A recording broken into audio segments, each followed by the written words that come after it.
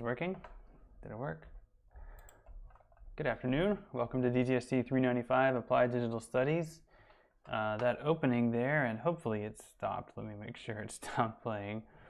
That uh, I thought was kind of relevant, um, at least thematically resonant with uh, what we're talking about today. I'm closing it down here. This is the Wikipedia page for it. That's uh, the visuals there for were for the uh, movie Koyaanisqatsi, 1982. As you, see, a 1982 experimental film, uh, most well known for some of those scenes that I was just showing you there, and the accompanying music, musical score by Philip Glass. Uh, really a beautiful film, and uh, I happen to have a copy of it on my computer. I thought it was interesting because, uh, or, or, kind of relevant. Um, I have seen, you know, I like to do the, the kind of lo-fi chill hop kind of things on the uh, on the the countdown there, and I have seen some of those videos on YouTube that use sections of Koyaanisqatsi or, or one of the sequels. And I, I mean, I saw them, I recognized them, I thought, hey, that's a good idea. So uh, definitely a copyright violation, I guess, for, on their part, but you know, that's all right. Um, this is a class though, and this is educational, so I'm teaching you that that's, I'm teaching you something, so it uh, helps me with the fair use argument that um, that was sort of relevant. So 1982, and those images, especially of New York, um, very much kind of try to capture like the energy of the city and specifically some issues, some uh, moments around the stock market. I think there are some actual shots of Wall Street, but I didn't see them in that section. I, I, maybe it's in a different um, different part of that film. It's a really beautiful film. Uh, someone has uploaded it in, in its entirety to Vimeo along with the two sequels. So, you know, check it out. That's definitely a copyright violation. Um, but I don't know if anyone cares. It's been up there for a little while, and it might even be linked on the Wikipedia page. Um, but you know, if not, uh, that's all right. Uh, if you if you're interested in checking out, I, I like to watch it. Sometimes it's very relaxing and it's very slow paced, and I think the slowness of it is what's really compelling, and, and also like a really um, strong contrast with what I what I asked you to watch today, which was uh, Merger, as you see, which is very much about um, the the speed and very much about losing track of uh, of the pace of things, and uh, you know, in light of algorithms taking things over. So, good afternoon. I hope you're doing well. That was just kind of a quick little preamble there as I wait for people to get online if you're coming. Um, let me see how we're doing on the view counts. Um, let me know if my audio sounds okay or not.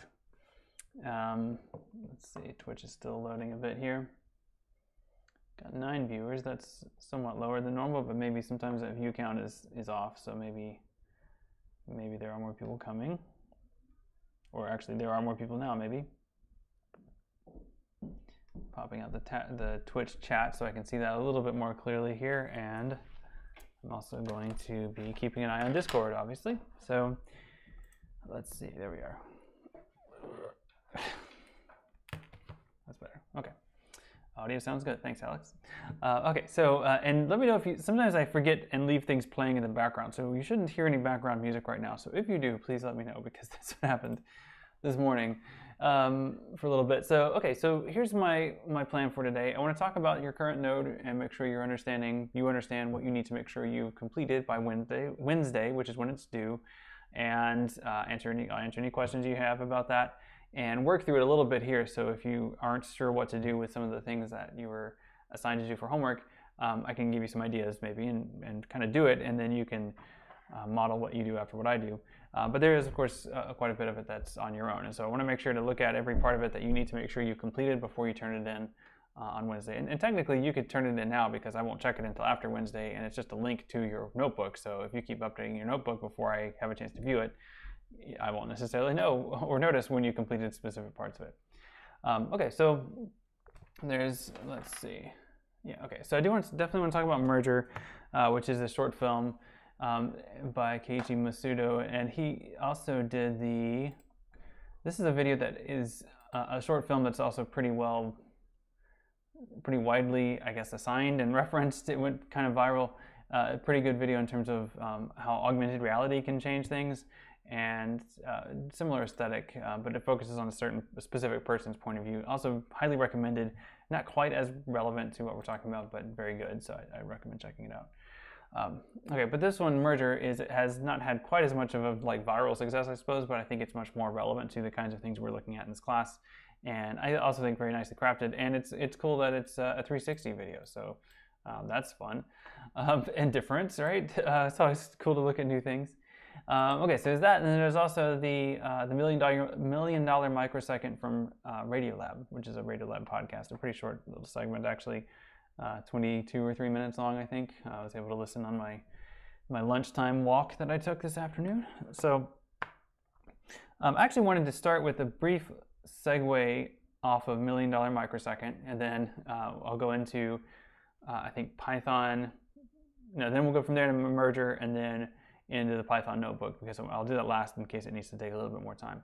Um, sort of random actually, but I don't know if well, know, it's not random, but um, it's a good piece. It's actually kind of historical at this point. I mean, it's almost seven years old, um, but I think it does a good job of breaking down a very specific scenario where uh, algorithms and speed really changed the, the you know cost people lots and lots of money and made people lots and lots of money and had this tremendous effect, uh, impact within a couple of seconds. And then um, you know, now looking at it, I was noticing seeing how I remember when I first heard this piece, how how shocking it was to talk about like a thousand point drop in a few minutes. But then, like, I mean, we've had uh, certainly thousand point or more losses uh, per for a, a, you know daily um, in the past few months.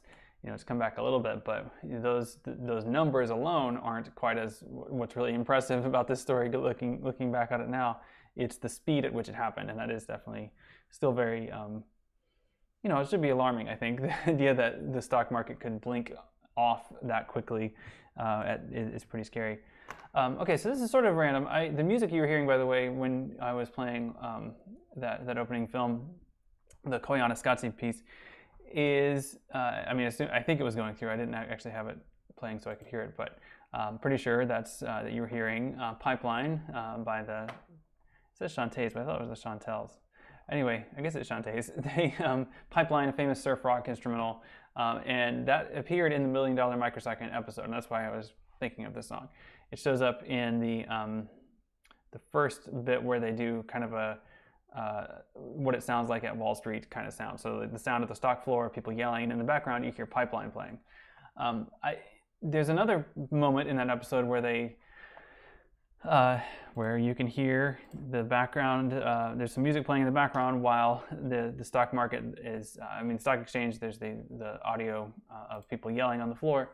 And uh, there's a different song playing in the background. And I actually was wondering if any of you recognize it because this is one of those things, it's like the tip of my tongue kind of references. Like, I know this song, I've heard it in another context, but I can't figure it out, you know? And so I'm just wondering if any of you can hear it, know what I'm talking about, and if you, if you can recognize it. So I'm going to try to, let me see if I can pull it up here.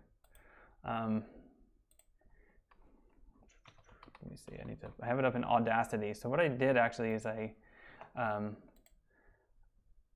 I pulled it up, uh, so I created this, you know, clip of it, and then I uploaded this to YouTube to see if the automatic copyright infringement algorithms would detect it, and then by doing by virtue of detecting that I that this clip comes from somewhere, maybe they will identify the background music.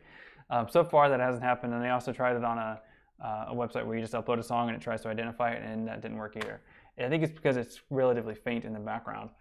Um, so I'm, let me make sure. I'm not sure if the audio is going to come through if I play it. Let me just watch it. Yeah, okay. Now, to put that in context, back in the day, you know, 20 years ago when the humans still ran the trading pits. So what I'm talking about, you can hear most clearly in this sample right at the beginning. It starts off with a flute. Oh, come on, move the playhead. Stop. Ah, Audacity. I don't want to clip that. I want you to move the playhead. There it is. Um, right? So it's this really tight little groove. I really I like it's the the flute starts it, and then like the the organ and the the drum kind of drop it in together. And I I've been trying to place it, and I can't think of what it is. So if you know what that is, let me know. Um, I was thinking, you know, because it's a flute and it's got like the rock beat, it might be might be Jethro Tull, but I think that's too obvious. Um, I spent a while listening to songs by Focus and another, you know, progressive rock band from the 70s. To me, it sounds like something actually more modern, trying to emulate the sound of, of Focus because it's kind of got a funk rhythm to it. But I, I don't know. Again, it's just one of these little earworm things. So not, not super relevant, except that I think that it might be uh, recognized by a um, an algorithm. So if it is, then then I will know and I will tell you. So let me see if it has a copyright. I, I you know I have copyright claims on most of my videos, but because but I know I'm using samples of music that are like it's fine. Um, but yeah, no, nothing yet. Come on, algorithm, let me know what it is. All right. Okay, so let's talk. I, I, I don't know if you can think of anything. Please tell me. Okay, so here's what we're gonna do. Um, I've got 15 or so of you watching at least on the stream, so that's great. Um, what I'm gonna do is uh, a little different or a little bit. I'm going to do it a little different. Um, I want to talk about merger and I want to pose some questions to you. I'm going to ask you to try to answer those questions in the live stream chat channel and Discord uh, where uh, you know there'll be there'll be kind of progressive questions. So there'll be something where I'll pose it, and then based on whatever you all think, then we can go a different way. Um, but I'm I'm interested in merger, and um, I'm going to pose uh, the first question I'm going to pose. I'll let you think about it. Is um, what do you think happens at the end here? Uh, so this is basically a um, I'm to actually just type it too.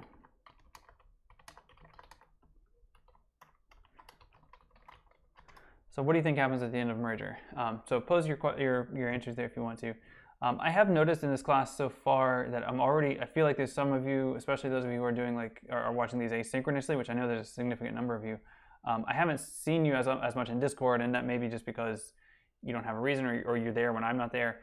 And so what I'm going to do is I'm also going to take these questions and I'm going to create kind of a standalone version of this discussion in Canvas as a discussion thread, as a threaded discussion there. So like if you are not able to watch this live, if you're watching this on the recording right now, um, go into Canvas and try to answer these questions there, and they will be typed in there as well. Okay, so we've got a couple answers. So we got Sally. I think she decided to be put into the algorithm so she could fight it from the inside. So interesting point, right? So there's sort of uploading your brain to the to the internet, which is a trope. You can see all kinds of places. But this idea of fighting it from the inside, I think, was a really interesting shift in this, and I like the way you're phrasing that. Yep. Okay. So.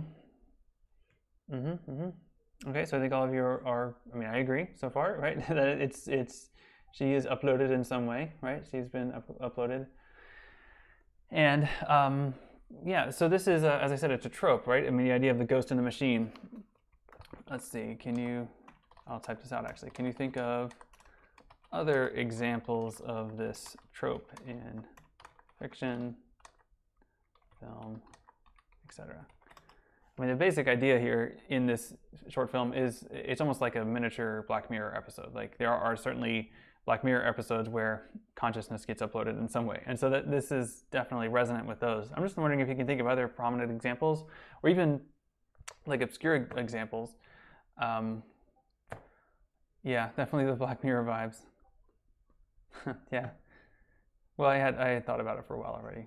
Aaron. So, so I, I, had I had that preloaded, so that's why I got to it first. Um, but yeah, it looks like a lot of typing. This is great. Um, but yeah, again, uh, other I, I, mean, I, can think of several. Um, I don't know. I don't want to preempt any of, of, what you might be writing, so I'll let you all say what you think. Uh, and, and, I think tropes are really interesting. Of course, uh, oh yeah, of course, right. Um, that makes sense. I haven't seen that one, but I'm familiar with the the, uh, the premise. Um, upload. Okay, transcendence is one so far. Upload. You choose your own afterlife, and it uploads you into a program. Okay, great. Alex, is that a series or is that um? Because that sounds like a. a uh, sounds like a like a Black Mirror episode. um, okay, Amazon Prime. Okay, great. Okay, so Brian, I think you're saying you're talking about Johnny Depp playing a character. I think that's is that Transcendence. I think that's Transcendence that E. Martin was talking about. Sure. Okay, Chappie with the robot. Yeah, and uh, Dee is in that movie. That's all I know about that movie is that it has the South African rap group um, in it. Uh, yeah, yeah. This idea that a robot, like like a mind, needs a body, I think, is one interesting um, version of this trope. The, the idea that you upload the body into the network, I mean, the mind into the network means sometimes you leave the body behind, like in the Matrix, or um, but sometimes that mind needs to go somewhere. Or sometimes if you need a body to be controlled or be human-like, you need to put a mind, someone's mind into it. Uh, there's all these different versions. All of these are interesting because philosophically they, they start from the premise that the mind and the body are two different things that can be decoupled from one another or not. Or if you do, there's problems. But this idea that they are two different things to begin with, is something that you know has its its roots in, in philosophy, obviously, and, and metaphysics. Um, I was thinking of uh, like Portal Two. I mean, kind of a spoiler, but there you know there is this idea that minds can be uploaded. The video game Portal. Um, Johnny Mnemonic. it's another uh, famous one. That one's interesting because it sort of has both versions of it, where the, the premise, as I'm sure you know, because Johnny Mnemonic is a classic movie, is uh, that Keanu Reeves plays a character who um, downloads data into his brain, and it, he accidentally downloads too much data into his brain, and he has various problems related to that.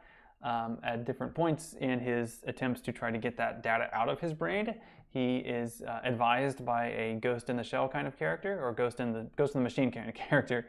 Um, uploaded consciousness is, a, is also that trope also appears in the movie Ghost in the Shell. But the the Ghost in the Machine trope um, shows up kind of literally in Johnny Mnemonic, where there's a angelic figure who appears out of nowhere and gives him advice at different points. Um, yeah. Yeah, the idea of putting, getting put on ice. Uh, Demolition Man is another one with, with that idea of putting the body on ice while the mind is doing something different. Yeah, there's a lot of these movies. So I, whenever there's a trope, I think it's really interesting because this is, uh, especially when there's lots of examples of it at, a particular time. And I guess if you look at the, this decade, the last couple of decades as a particular time, we can find lots and lots of examples of this trope of uploading consciousness. Uh, so much so that it suggests that there's something on the mind of people who are writing these things and, and viewing and, and consuming these things. And so what that thing is seems to be uh, the relationship between humans and machines. Um, and I, you know, I think Sally, you've got a great point there that this actually could go all the way back to, and I, am not sure if you're referring to like the Imitation Game, the movie, uh, which I haven't seen, but I heard was kind of iffy. But I, I mean, I, would like to see it. But this idea that uh, you, are referencing the Turing test, which I think is really interesting. So, um, for those of you who don't know, the, the Turing test and I mean, and Sally, you can, if you know about it, you can, you can, um, can elaborate. But uh, the part of it that you're interested in. But the Turing test is basically um, when we look at the history of people trying to figure out what to do with computing. Uh, Alan Turing is a computer programmer, mathematician who uh, presents a thought problem, like a thought scenario, and um, people do tend to um, state it different ways. But if I remember correctly from the actual thing, it's like let's imagine that we have a person in a room and we have two other rooms and uh, no one can see each other, right? So they're only communicating over a computer terminal, and the Turing test is to see if that if one and then so the person that's operating the machine is here, and then there's the other two rooms. One is a computer, one's a human, and the the trick is to see uh, which is which, right? The, the person operating the computer, if they can, if they uh, guess if they guess wrong around 50% of the time, that means that the computer has successfully pretended to be a human and has appeared to be sufficiently lifelike that the human couldn't tell the difference. Interestingly, in the actual essay where he proposes this idea, he initially proposes, proposes it as um, a man and a woman on each end, and the, the um, experimenter is trying to determine which is which. Uh, so it's interesting how gender becomes part of Turing's original um, original formulation of the problem and uh, yeah, and it's a, it's a fascinating thing. It, what's interesting though is that because it has to do with how a computer communicates, not whether there is actually a being inside of the computer. I think people sometimes misunderstand it that way because uh, Turing had no assumptions that humans, uh, that machines would have anything like a soul or an identity or a being or, or you know whatever. He was looking at their ability to communicate like humans communicate, and it turns out that that's definitely doable. Like that's definitely uh, that's even a relatively low bar. Um, and so that's like if you can convince another person that this computer is a person, like you can that's doable. Um, there's there's various contests where people still try to do this uh, and at different levels, but and there's different computers, different systems that have managed to pass it. Interestingly, they often try to pretend to be humans that communicate in a very stilted way. So the classic example is um, the uh, Eliza chatbot by Joseph Weizenbaum in the 1960s. Um, but there's also uh, what was it? more recently there was a chatbot that passed or that convinced a lot of people because it, the the premise that the chatbot, the character that the chatbot uh, occupied was of I want to say a Serbian teenager, some an Eastern European teenager trying to learn how to speak English, and so the computer in its stilted syntax and so on sounded actually more compelling as a human trying to learn English than as a articulate interlocutive human Um, but yeah, definitely, uh, The Matrix does play with this uh, DJ, and you should watch The Matrix. It's a good movie. I guess there's a there's a fourth Matrix movie in the, in the works, right? And also, super interestingly, you know, to go back to Turing and the idea of the, the Turing test, uh, gender was a really interesting part of his formulation there. And um, the Matrix, I've, I've just recently encountered this. It's almost I don't know if it's a fan theory or more of an essay, but there's there is a way of watching the Matrix movies as uh, being all about discovering transgender identity.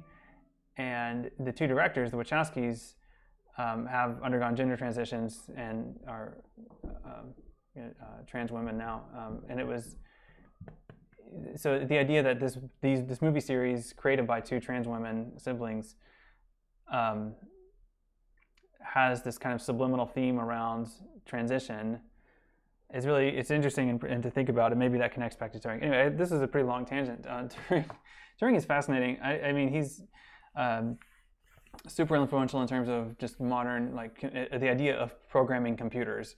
Um, like it goes back to, to people like him, and he was one he he was one of the, the most influential in terms of using computers to crack codes in, the, in the World War II, and also a super uh, just a really tragic life. Uh, in in in the end of his life, he was. Um, convicted of being a homosexual when it was illegal to be a homosexual, and he was sentenced to chemical castration, and like, and then he uh, he committed suicide. Uh, really, just a horrible end to that story. Uh, Alan Turing is a fascinating person, and he, you know, definitely needs to be needs to be known. So, um, uh, really interesting. He also was a gifted uh, long distance runner, so that's a kind of random, but he was um, pretty high level uh, marathon runner um, certainly faster than my PRs. So, uh, okay, so that's uh, yeah, tangents, but that's all right. so, uh, looking at the idea of uploading consciousness, that's what's going on in the merger. Um, we, we, are going to talk a bit about artificial intelligence more in the next node, by the way, kind of a foreshadowing there. Okay, so so sorry about my tangent. So back to the mer back to merger. Let me type another question here in Discord. Okay.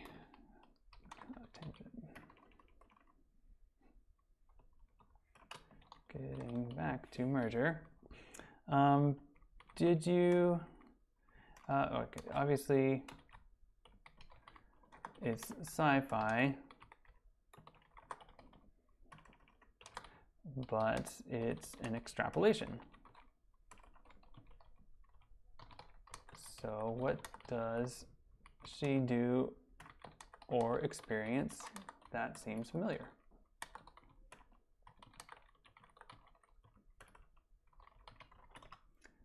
So I, I, love the brevity of this piece, by the way. I think it gets so much into such a small just runtime, such a short runtime. Um, it definitely, you should watch it at least twice.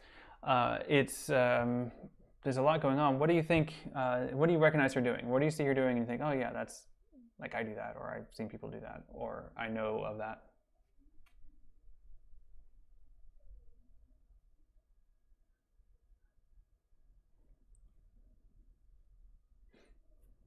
Seeing some typing. This just occurred to me too, but I'm kind of wondering if like her, her living her whole life on a bunch of screens, if that's something that you all can relate to a little bit more than, I mean, recently, you know, being on screens all the time uh, to living our lives through these screens and through these cameras. I'm wondering if that's something that you all might be able to relate to a little bit more. Yeah, so do you multitask?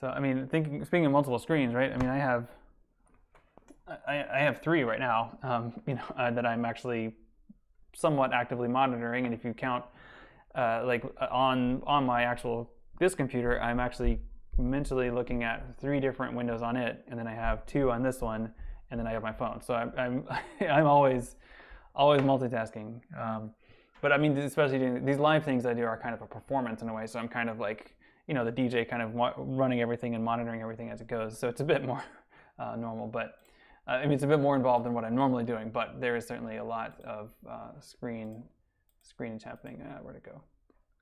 I closed that tab because I was wondering about I was worried about it um, using up too much bandwidth. Um, yeah, so uh, let's see, taking a look at Discord still. Mm-hmm. I know that feeling, uh, ginger snaps. Um, if, you know, if I don't, if I'm not multitasking, I feel like I'm underperforming. That's why I've learned recently that um, I've actually started playing video games a lot more recently, and I have found that I can listen to a podcast or a book on tape or even attend a meeting if I um, while playing a game. So I can actually put the audio from the book I'm, I'm listening to on and then play Borderlands and then like it works because the game is, doesn't require that much concentration and I can listen to and something and so I feel like I'm learning while I'm playing.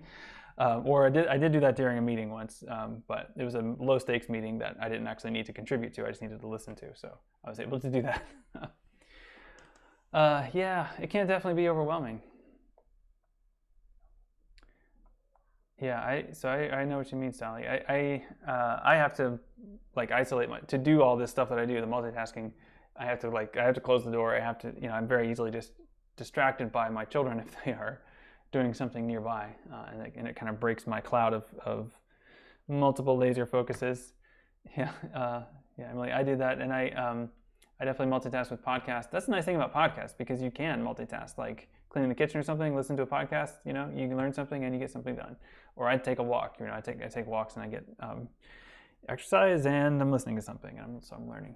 It's a lot, and there are a lot of really good audiobooks that you can listen to for free through the library. Um, not our campus library, but the local um, Rappahannock uh, Library or the Prince William Library. I have an account with both systems, and the Prince William Library has a lot more audiobooks, and they're great. Um, just a little tip there. Uh, okay, so let's see. Uh, I did have some more questions about this. Um, did you notice any references or Easter eggs in Merger? The one Easter egg I noticed, and um, well, I've lost it now, but I did notice one. Let me let me pull it back.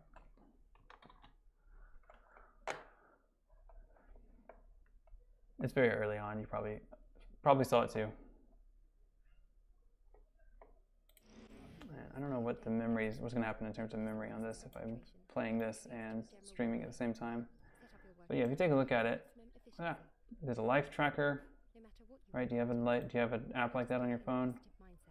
Um, there's this particular feed coming through. But it's concentration and contributes to your general well-being. Set up your work environment for maximum efficiency. There we go. There's a good one why Alexa, uh, I just just flipped away, but um, why Alexa must be the first AI president?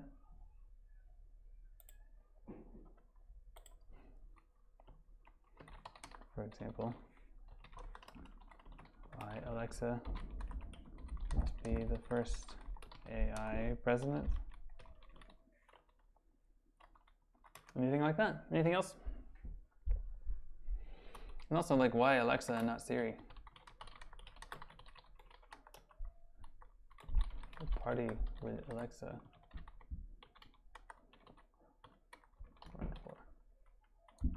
mean, do you think Alexa would be a Republican, a Democrat, something else?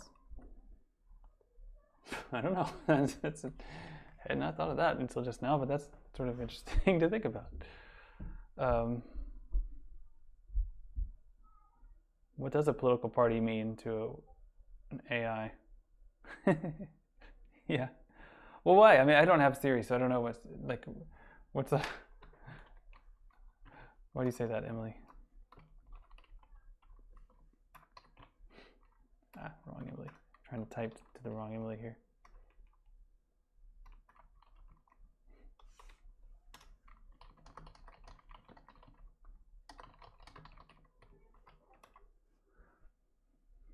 Siri would definitely lose. Do you think so? It's interesting if you try to get them to talk to each other or talk about each other, they, they have opinions about each other.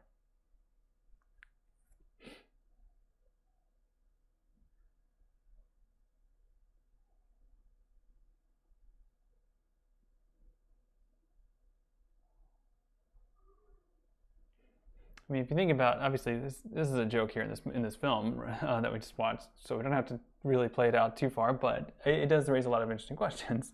Um, they could be effective. So Sally's saying they would be both effective ca- candidates because they could just display different views depending on who they were campaigning towards. Uh, they sure could, right? I mean, that's uh, the idea of aggregating uh, a particular audience. I mean, uh, aggregating, viewing a particular vote demographic as having a particular point of view is something that could probably be emulated by a computer. Um, yeah, Siri can be sassy. Well, you know, presidents can be sassy too, I guess, right? I don't know. trying to say that as neutrally as I can, but yeah, that's the. Um, yeah, certainly that you'd want to have a president with some personality, maybe. Alexa doesn't have much personality, and maybe that's why she's better as a helper. Notice, by the way, how easy it is to uh, uh, give these algorithms essentially uh, gendered pronouns and how easy it is to say refer to Alexa as a her and Siri as a her and think about them that way. Also, notice how many of these uh, AI helper chatbot things are are feminine or are given. Well, I mean, none of them are literally fem- female or feminine, but they are given feminine attributes like vo- feminine voices and feminine um, pronouns. Um, I suspect that's not coincidental. Um, okay, so that's there's well, maybe we'll, that should that should be a good actually that, that might be a good topic for the, uh, the next node when we talk about AI. Uh, okay, so back on uh, on merger, any other um, references or um, you know Easter eggs? Anything you noticed? There's a dating app. There's like a life feed kind of app. Um, I don't know. I have a I have a life feed kind of app on my uh, phone. I don't really use it, but let's see. Yeah, it's my Samsung Health. So you can track everything. I mean, you have to put thing, put things into it. Yeah.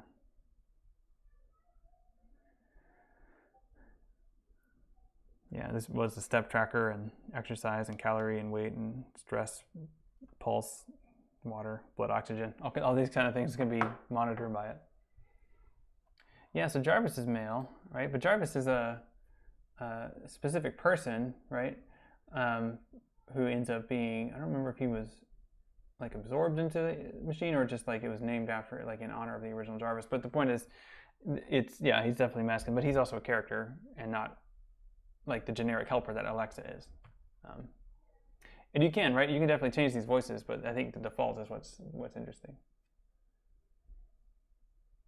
And I think I don't know what it is. I think Samsung does have its own interactive helper person bot. I don't. I disable things like that automatically because they annoy me. But I, I, I don't know what it is. But I think it's masculine on the Samsung. This kind of remind me of the. I mean, Jarvis kind of reminds me of the whole uh, Ask Jeeves website. I don't know if you all remember that, but AskJeeves.com. It was a many one of many popular search engines before Google was the only search engine anyone ever used. Um, yeah, I have a I have a Galaxy. Um, I don't know what the name of it. I think the char- I think the character is named something different. I don't know. Cortana is another one on uh, Windows devices. I mean, she's a character from the Halo games, but uh, okay. Well, lots of interesting tangent discussions. This is good.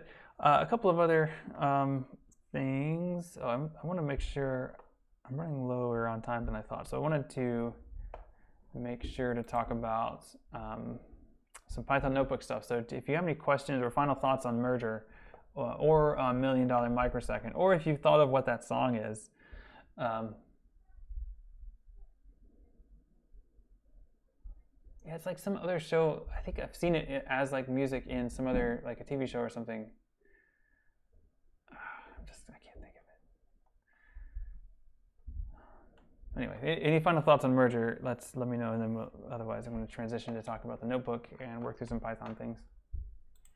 Um, similarly, I am going to ask you some questions as I try to fill this in. So.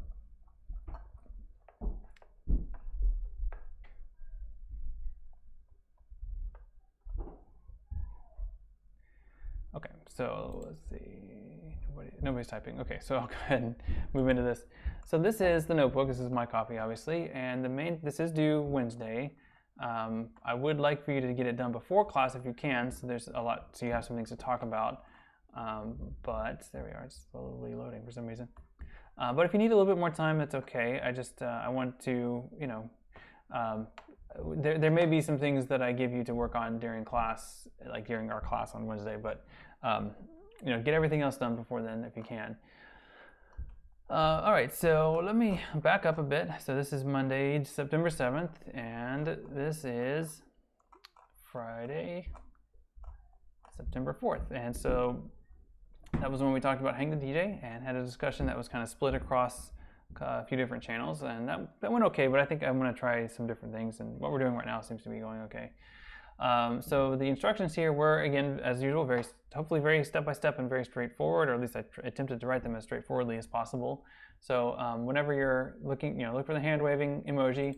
Uh, so write your answer here. So before you run this cell, write your answer. Uh, after you run it, what write what happened and explain if you got it right or wrong. So this is a point where I've started creating some data structures for Amy, Frank, and Nicola. And um, my invitation here is to Think of these as a scale on 100, 0 to 100 and try to create appropriate values for each of these. So um, if I were really doing this as a dating app, I would make these as uh, classes of an object, but this is uh, a good enough demonstration, I think, for now. The only thing is that for classes of an object, you could force this similarity on them where they would, these, the way that I would define both of these attributes right now, intimacy and humor, every member, like every person here, Amy, Frank, and Nicola, have all of those attributes, and I have to remember that to do that. An object, if I, we're not going to get into that, but if I get into an object with classes, I can make it so that each of these, instead of being a dictionary, was a type of object called a person, and, each, and, a, and I could code it so that a person would automatically have these or however many attributes I wanted, and then they would have a default value if it wasn't defined, and there's different things that would make that more useful. Anyway, um, this being a dictionary, we can just name things and set them that way. So I've got intimacy and humor. What are some of the other things that are important to characters or to real people? If you think about, so obviously these are characters from that episode of uh, Black Mirror called Hang the DJ. Are there attributes that are missing from this? Things that I, I need to spell out here uh, to complete my profile for them? And what numbers do you think could go with them? So what do you think? So this is kind of like before. I'm, gonna, I'm posing this question verbally, and so I'm going to see if you have any uh, any suggestions. I'm, I'm going to type my question in Discord as well.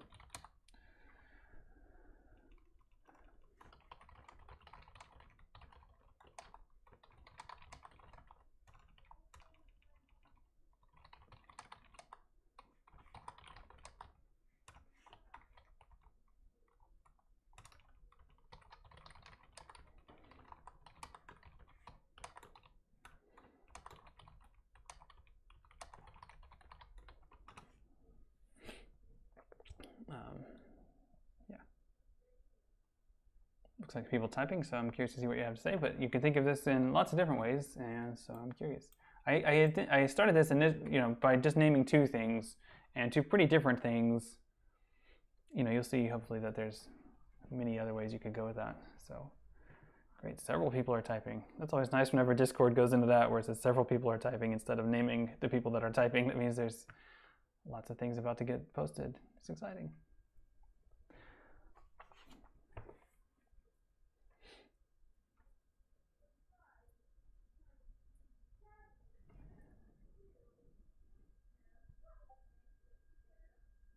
Oh, caring, yeah. Okay, great. So we've got caring, and I'll just kind of flesh out Amy and then add these here. Okay. Oh, good. Oh, good stuff. So much. Okay. Um, so we've got caring, and I'm just going to add this here. I'm just going to set them all at zero for now, although that's not correct, and then I'll ask you what you think they should be. Um, we've got caring, honesty, sensitivity, compassion, honesty,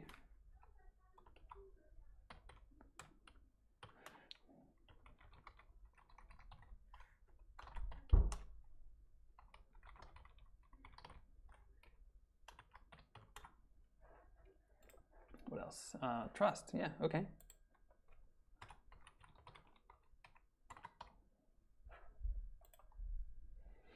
Okay, good. Oh, and commitment level. That's another one.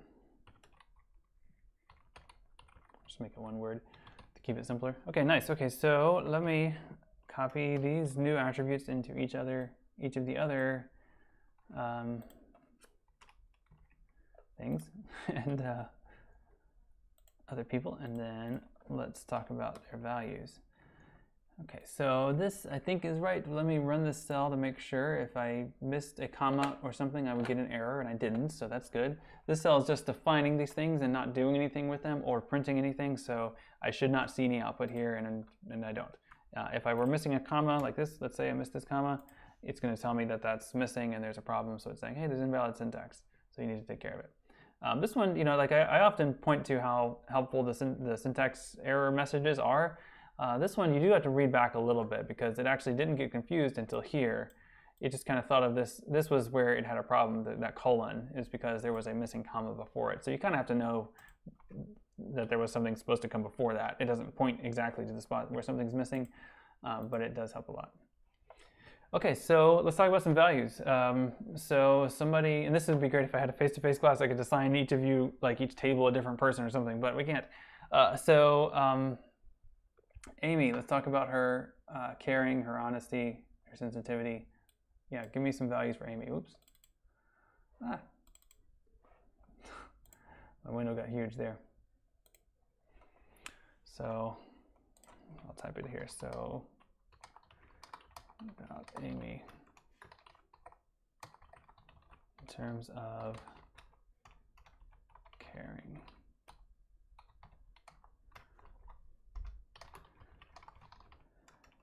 where should she be?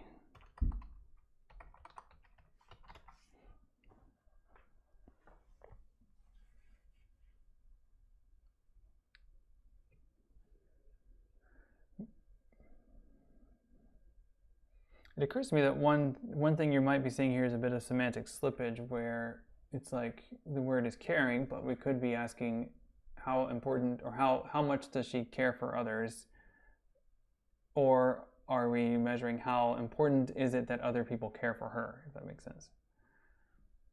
Like we're talking about something that she places value in, and this is the number that corresponds to how much value she puts on it, or is this something that exhibits how caring she is? Let me ask, ask that in there. So is this how caring is Amy? Or is this how important is how important is being caring to Amy? I, I think those are two different things. Maybe not, but I think I think 75, 80. Okay, we can go with that. That's that is kind of, I will say, kind of the the non-committal range, uh, but it's it's okay. Um, okay, so honesty because this, this is one where I think you definitely, um, how about honesty? Because this is one I, I think there are definitely two versions of honesty. There is how honest is she, and then there's how important is honesty to her. And I think for her, it's very high for both.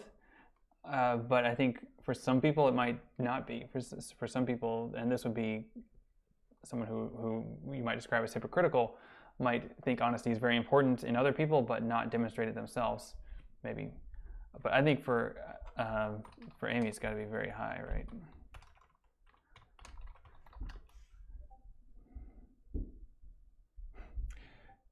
Yeah, she was, but also remember how important it was that Frank lied to her. Like that, you know, that was or broke their promise, right? So that's uh, that's a big deal. So I, I, I like 95 for that one. Okay, and we'll just, I'm not going to go through all three of these characters for now. We'll just go through, um, we'll go finish uh, Amy. Um, okay, so 95, 90 plus. Yeah, good. Okay. How about sensitivity?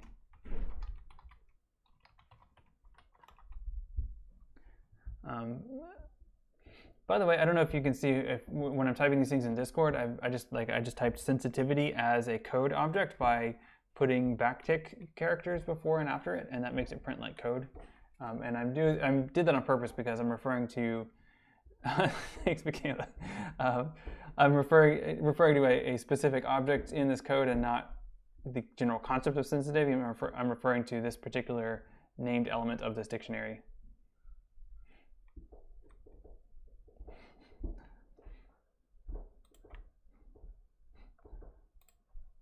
So there you go. Um, So yeah, what about sensitivity?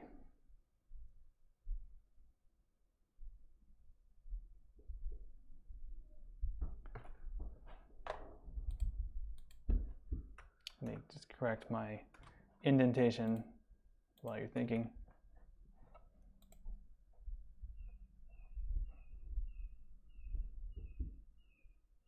There have been a couple of hawks in my backyard all day, or near my backyard all day. I keep hearing them. I haven't seen them yet.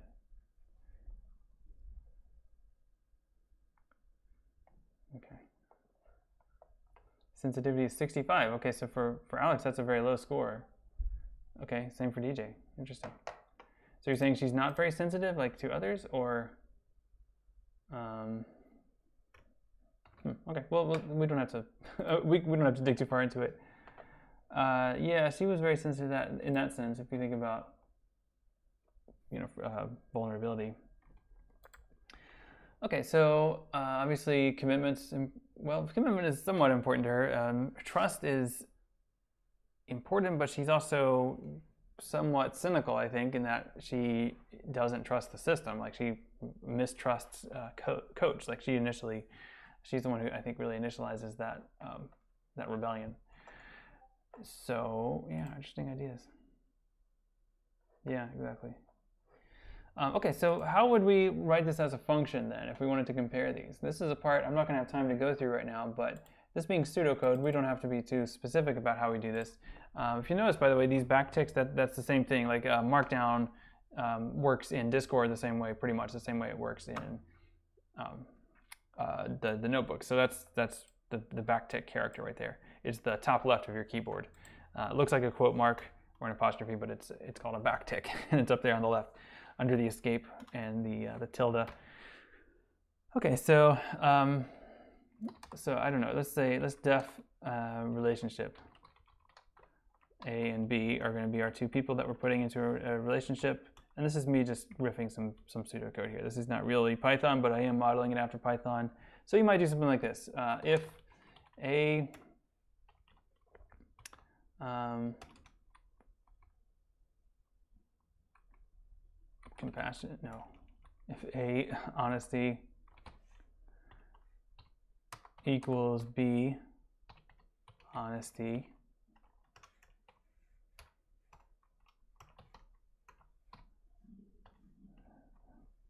Now we need to think of some kind of scoring system, right? So we'll say, um, let's do, let's do, let's make a match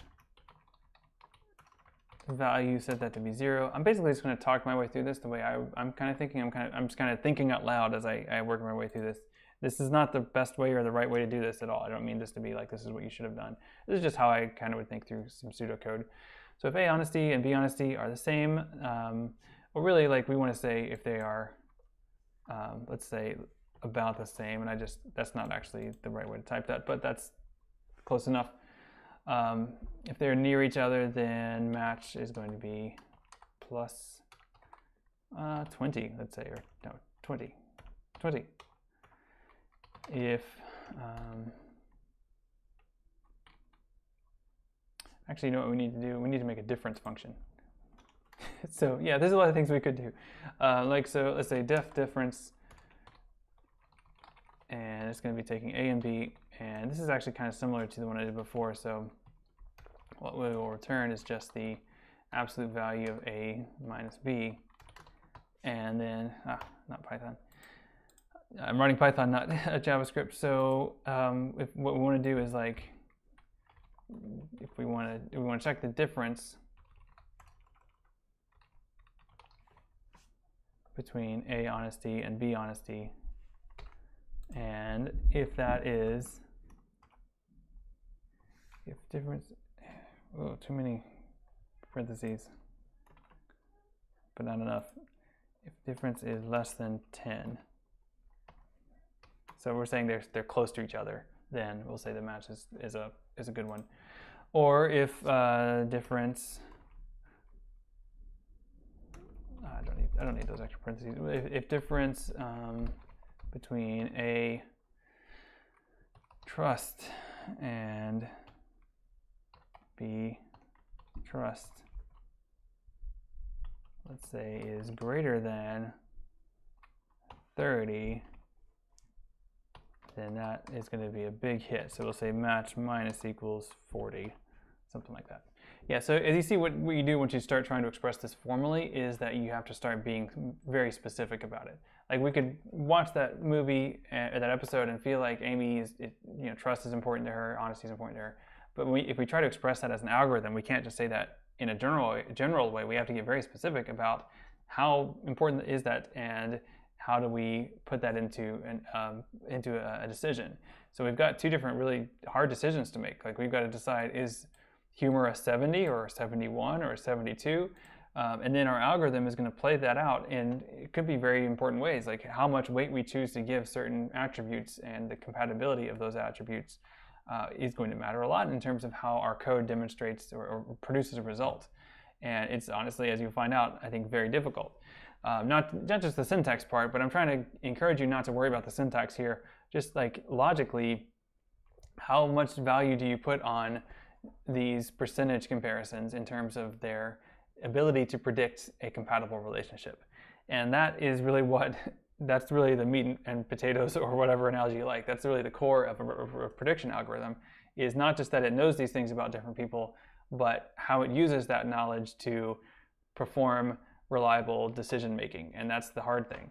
Um, and that's where if we aren't understanding what's what the data is in the first place, or if we're not understanding what the decisions are and how those how that data is being evaluated within the algorithm, that's what Cathy O'Neil talks about as the weapon of math destruction. That's how math can be used to make certain conclusions seem obvious and consequential when in fact they are essentially arbitrary in that they are opinions hard coded into into uh, math. Just like right here, we have an opinion about how important trust is to Amy, but if we say right here that it's it's important to 40, right? That's a we've expressed our opinion in the mathematical context of that number, and that's that's the really hard part here. So um, don't stress out too much about writing this as elegant code or even working or logical code. Um, but I, I want to see you try to get as specific as you can with numbers because that's really the challenge. Okay, so this next bit is a bit more codey, and as you can see, I've got it laid out here, and I'm not going to go through it now, but um, this will be hard, I think. Uh, so I, I will say do your best, and if you have made an, an you know good, I, am I'm, I'm definitely much more interested in effort than an outcome in this class, and especially here. Um, I would recommend start with a diagram like I've got here, and you can make it even a, a simpler decision than this one. Um, but start with that that diagram, and then see if you can model it in code. And if you can't, it's okay. Like this is this is not um, yeah, this is not going to make or break your, your success with this class. This is just see if you can put these things together. And you've got an example here, uh, but basically it's a series of nested decisions. And so it's like if this, if current hour equals 16, and then we can go into this particular tree where we're deciding, do I need to make a sandwich or do I need to make noodles? Um, and then, or do I need to go shopping? And uh, I don't know. I, I hope this, I wanted to spend a little bit more time walking through this, and I will certainly on Wednesday. Uh, but uh, honestly, do your best with it, and uh, don't worry too much if it does, if it seems beyond you at this point. Um, that doesn't mean there's anything wrong with you. so, uh, okay. Well, I, have gone over time because I got maybe because of one of various tangents that we went on. Um, but I'm going to wrap it up here uh, for section one. I'll be doing this again in a few minutes with section two. So thanks for watching, and uh, hope you all are doing well. And I'll, I'll be posting a, posting a similar, a parallel version of this conversation on uh, on Canvas so that you'll have access to that. So I see someone is typing, so I will let you finish your thought or type your thought if you, just in case it's a question before I wrap it up. Um, but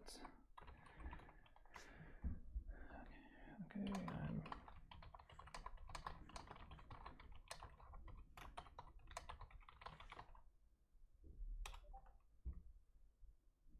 Okay, great. Yeah. Thanks, Brian.